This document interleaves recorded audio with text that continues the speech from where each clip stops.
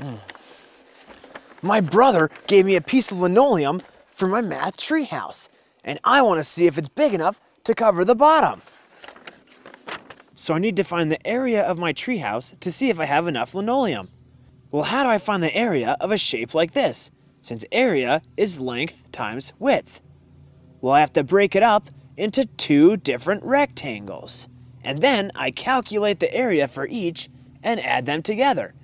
I'm going to start with the smaller rectangle. 2 times 3 is 6. And now I'm going to do the larger rectangle. 3 times 6 is 18. 6 plus 18 is 24. The area of my math treehouse is 24 feet squared. Remember, anytime you find area, the unit will be squared. To find out if my linoleum is going to fit, I made a scale drawing of my plans for the treehouse. Except for it's in inches instead of feet. So whenever you see a number, it's actually supposed to be in feet, even though for my drawing, it's just in inches.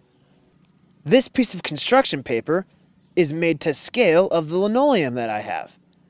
It's 8 inches by 3 inches, which is 24 inches squared. Wow, that's the same area as my treehouse. Now I need to find out what shape I need to cut the linoleum into. I'm going to try to cut 2 inches off of this piece of construction paper. Now I have two pieces. One that is 3 inches by 6 inches, and the other that is 2 inches by 3 inches.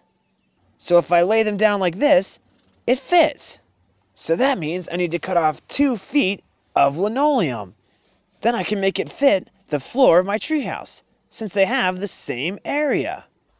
Well, it looks like as long as I measure my linoleum correctly, I'll have just enough to fit the bottom of my math treehouse.